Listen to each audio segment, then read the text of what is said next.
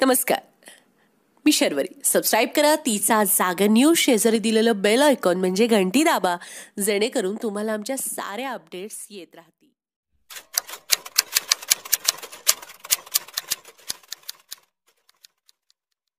सांगलीत petrol gas दरवाढी विरोधात महिला काँग्रेसची सह्यांची मोहीम. पेट्रोल पंपावरच केले आंदोलन मोदी सरकारचा केला निषेध. सांगलीत पेट्रोल गॅस दरवाढी विरोधात महिला काँग्रेस आक्रमक झाली आहे. यावेळी महिला काँग्रेसकडून सह्यांची मोहीम घेण्यात आली. तर पेट्रोल पंपावरच आंदोलन करीत मोदी सरकारचा निषेध करण्यात आला.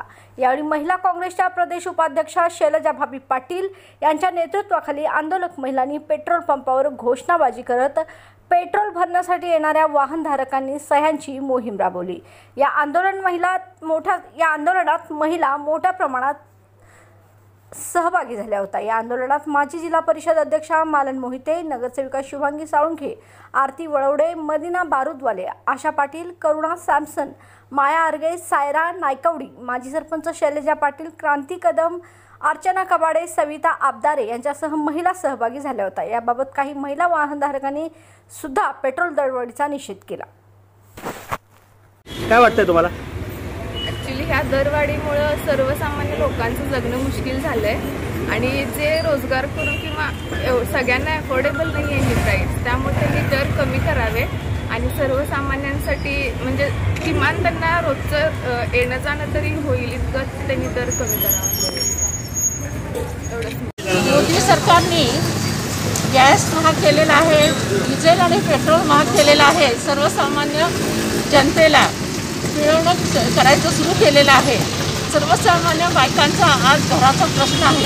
आम्ही सर्वांनी मिळून मोदी सरकारला आता शेणीच्या शेण्या भेट देणार आहोत.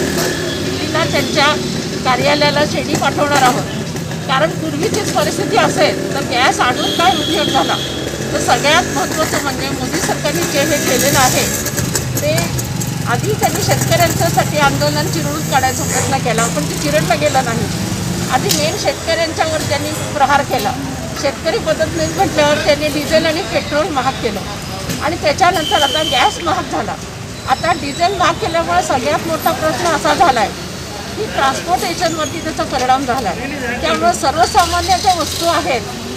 म्हणजे ट्रान्सपोर्ट ज्या भाजीपाला असेल किंवा धान्य धान्य धान्य असेल हे जे येतं हे महाग झालं.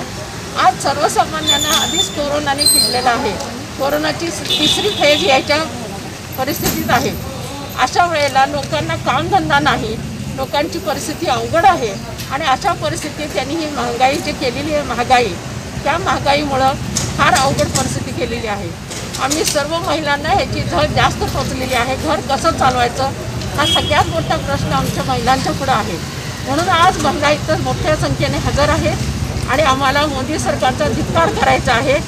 एवढंच मी या प्रसंगी सांगते